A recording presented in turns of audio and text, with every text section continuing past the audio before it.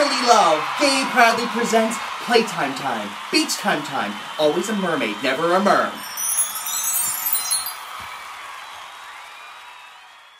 Hey, Aquafresha! Yeah, Aquafina. Hey, Aquafresha! Do you remember how I told you there were over a hundred million pounds of fish living in the Pacific Ocean alone, but I didn't have a boyfriend? Mm-hmm. Well, now I have a boyfriend!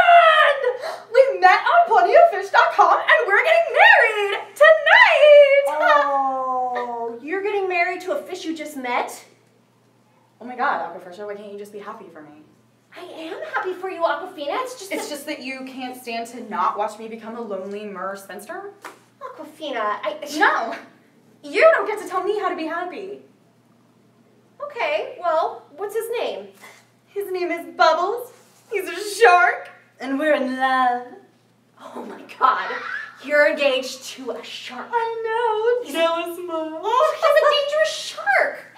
Hey, Bubbles, do you want to hear my safe word? Uh... Uh, Aquafina, this shark clearly doesn't know what's going on. I can't believe this.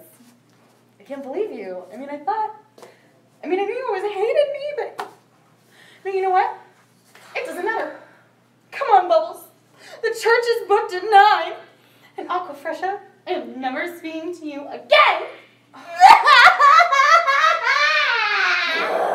no, Aquafina, stop.